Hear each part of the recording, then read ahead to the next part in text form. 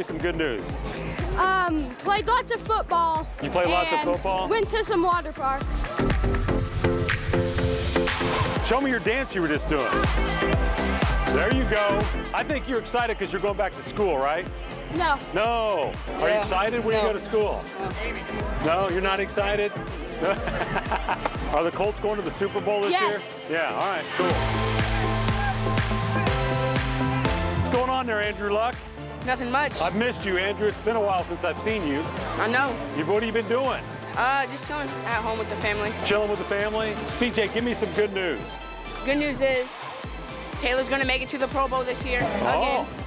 And uh, I hope everyone here has a great time. Tell me some good news. What comes to mind for you? Um, I just love the game of football. I got my two uh, nephew and my son here, and uh, we come from Terre Haute Boys and Girls Club Youth Football League. Oh, very cool. There you go.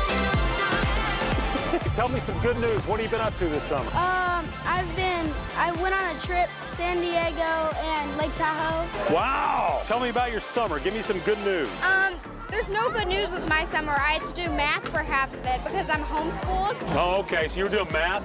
Yeah, pretty much. I'm starting to sweat when you mention math. I wasn't very good at math. Are you pretty good at it? Kinda. It's been a pretty good summer. Summer. I've gone to some summer camps with my friends, Yeah? and I've like I've had some time off too, so it's been pretty good. So you ready to go back to school?